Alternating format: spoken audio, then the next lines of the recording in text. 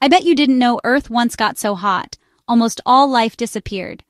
No forests, no cool down, just endless heat. Let's find out why.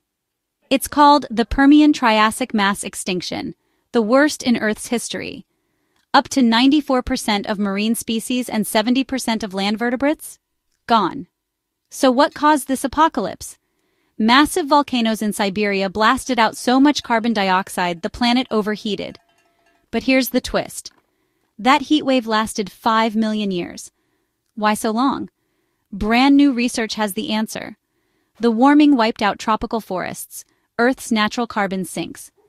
With forests gone, CO2 just stayed in the air. No forests, no coal formed. Proof the cycle was broken.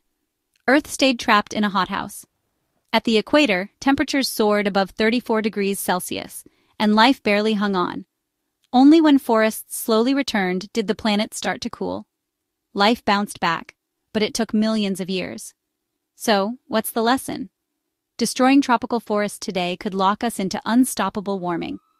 Earth's past is a warning. Protect forests, protect our future.